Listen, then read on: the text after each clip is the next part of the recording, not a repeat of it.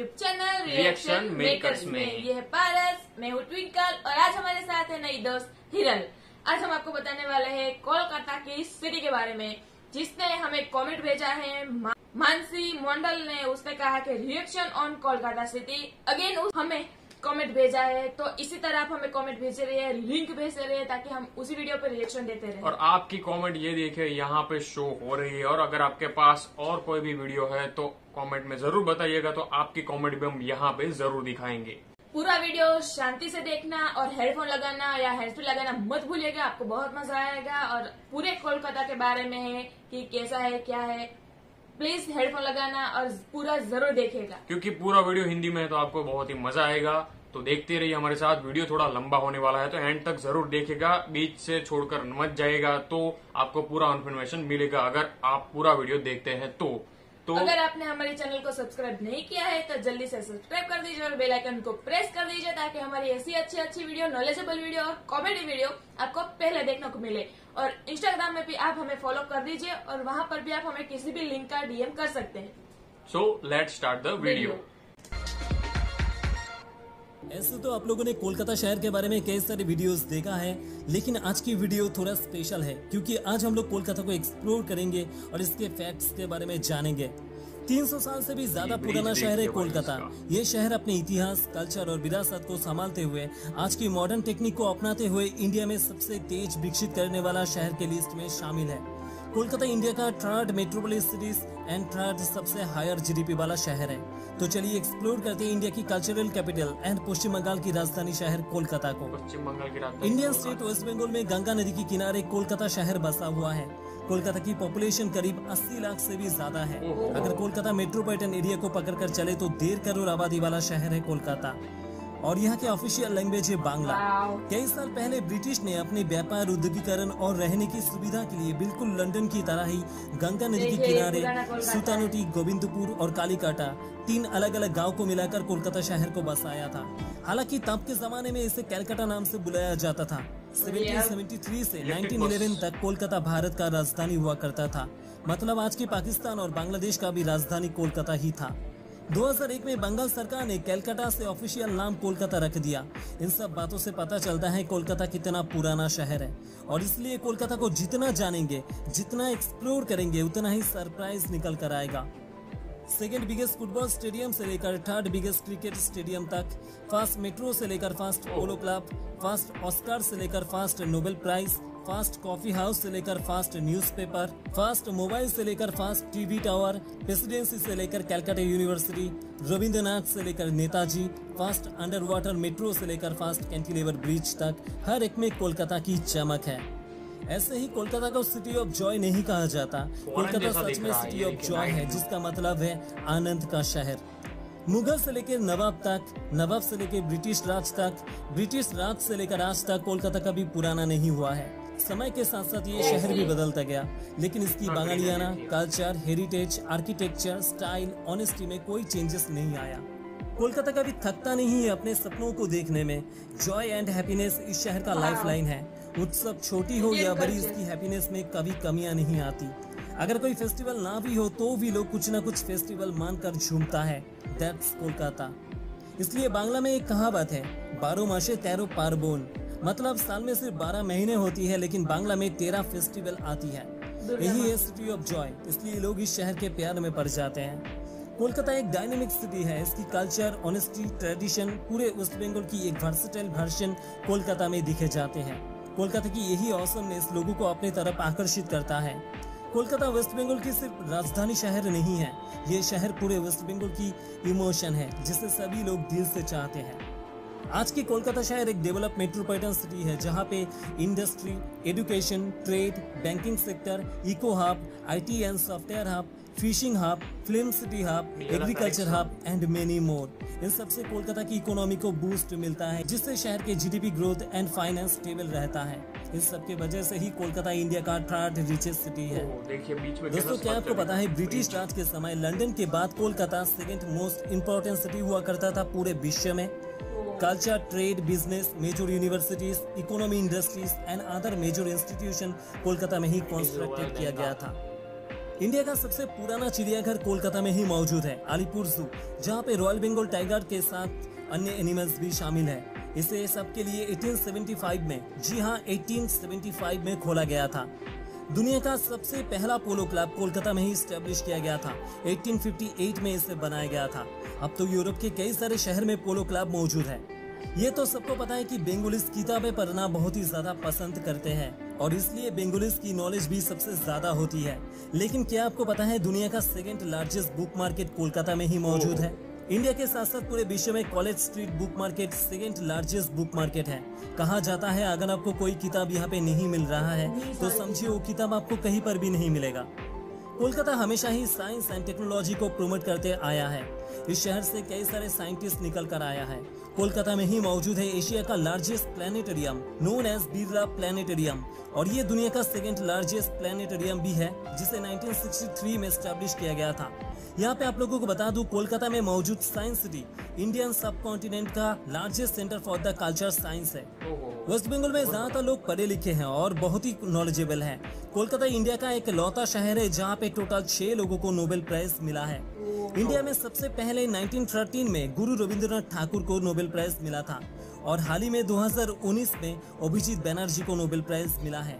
यहाँ पे आप लोगों को बता दूँ, फ़िल्म में भी सबसे पहला ऑस्कार भी कोलकाता शहर को मिला था। सत्यजीत राय को ये अवार्ड मिला था अपने बेंगोली फ़िल्म पौथेर पाचाली के लिए।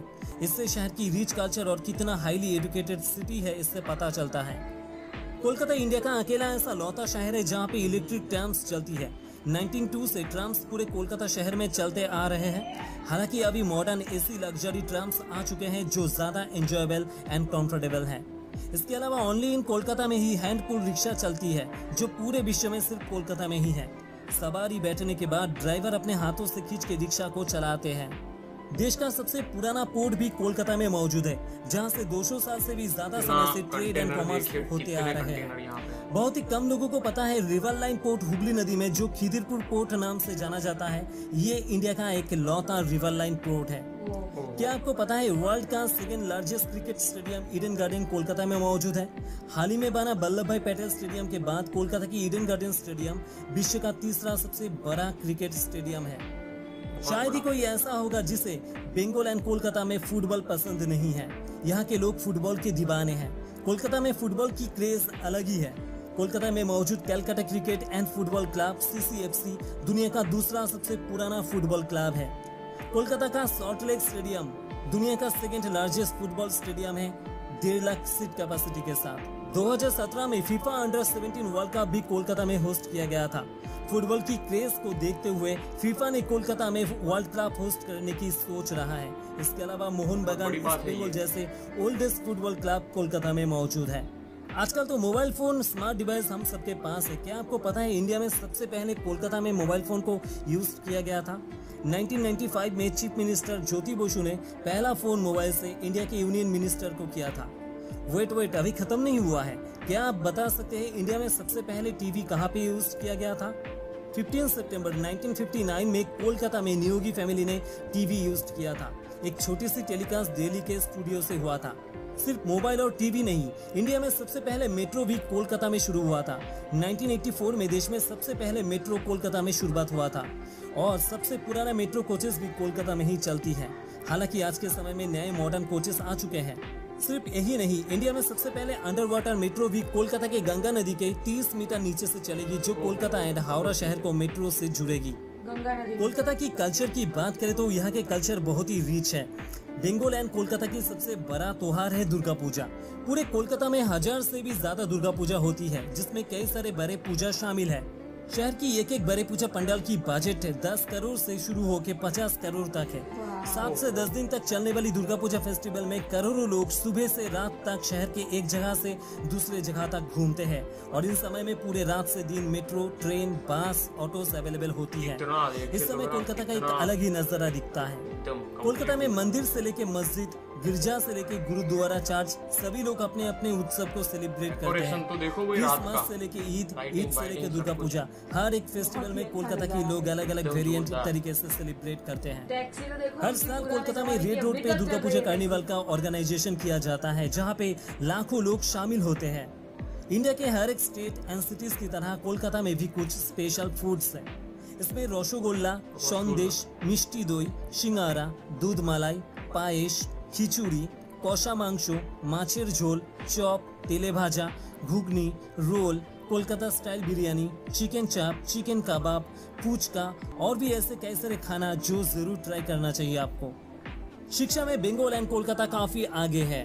कोलकाता की शिक्षा की हार है 93.4 परसेंट यहाँ पे कई सारे famous college university and institute बना हुआ है। इसमें कई सारे इंडिया के टॉप टेन बेस्ट यूनिवर्सिटी में शामिल है like Jadavpur university Calcutta university Presidency IIM etcetera Kolkata में सबसे अच्छी बात यह है कि इंडिया के बाकी मेट्रोपॉलिटन सिटीज़ की तरह ट्रैफ़िक जैम का सामना नहीं करना पड़ता। इंडिया के बाकी किसी भी शहर के मुकाबले ट्रैफ़िक कोलकाता में स्मूथ है। राश आवर में भी पाँच से दस मिनट से ज़्यादा ट्रैफ़िक नहीं होती। इससे शहर के किसी भी जगह पे जल्द से जल्द जाया जा सकता है। कोलकाता की ट्रैफ़िक कोलकाता ट्रैफ़िक पुलिस संभालते हैं, जो बहुत ही अच्छी मैनेजमेंट के साथ पूरे कोलकाता शहर के ट्रैफ़िक को कंट्रोल करते हैं। कोलकाता इंडिया का one of the safest city है जो लगातार इंडिया के टॉप फाइव सेफेस्ट सिटीज़ के रैंकिंग में शामिल है। नेशनल क्राइम ब्यूरो रिपोर्ट के अनुसार कोलकाता देश का सबसे ज़्यादा सेफेस्ट सिटी है जहाँ पे महिलाएँ सबसे ज़्यादा सेफ़ फील करती है। बीते कई सालों में कोलकाता पुलिस कोलकाता की क्राइम रेट को कम करने में सक्सेसफुल रहा है। कोलकाता की ट्रांसपोर्ट की बात करें तो इंडिया में सबसे ज़्यादा पब्लिक ट्रांसपोर्ट कोलकाता में ही है। Kolkata metro Kolkata suburban railway rickshaw luxury taxi government and public buses autos ferry water taxi ये सारे पब्लिक ट्रांसपोर्ट अवेलेबल है। लोग अपने सुविधा के अनुसार ट्रांसपोर्ट को यूज़ करते हैं। इतने सारे पब्लिक ट्रांसपोर्ट होने के वजह से इतना पॉपुलेटेड शहर होने के बाद भी ट्रैफ़िक एकदम स्मूथ रहता है। इसमें आप लोगों को बता दूँ, सबसे सस्ते में पब्लिक ट्रांसपोर्ट सिर्फ़ कोलकाता में ही चलती है। जहाँ पे आज भी पाँच रुपए में मेट्रो फेरी से लोग यातायात कर सकता है। कोलकाता में मौजूद Netaji Subhas Chandra Bose international airport India का टॉप फाइव बिजिएस्ट एयरपोर्ट में से एक है जहाँ से साल भर कई लाख पैसेंजर्स ट्रैवल करते हैं। कोलकाता रेलवे से भी जुड़ा हुआ है। कोलकाता में पाँच पाँच बड़े रेलवे स्टेशन मौजूद है। Howrah railway station Sealdah railway station, Shalimar railway station, Santragachi railway station, Kolkata railway station, इन सारे रेलवे स्टेशन में बाहर के स्टेट से एक्सप्रेस ट्रेन आकर रुकती है। इसमें हावड़ा रेलवे स्टेशन इंडिया का सबसे बड़ा और बिजिएस्ट रेलवे स्टेशन है। इंडिया में शायद ही और कोई शहर में इतने सारे रेलवे स्टेशन मौजूद है। इसके अलावा interstate, bus terminal and port भी शामिल है। कोलकाता में Esplanade, new market, fancy market, Hatibagan, Gariahat जैसे लोकेशन कम पैसे में अच्छी शॉपिंग करने के लिए मिल जाते हैं। यहाँ पे सब कुछ बहुत ही कम दाम में मिल जाता है। कोलकाता में बड़े बड़े मनुष्यों से लेकर आज के समय की कई सारे नाम शामिल है।